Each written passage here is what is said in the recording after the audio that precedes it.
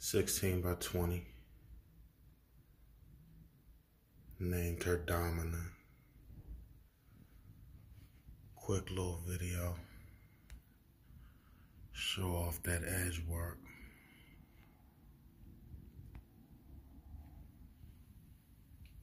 Fluid.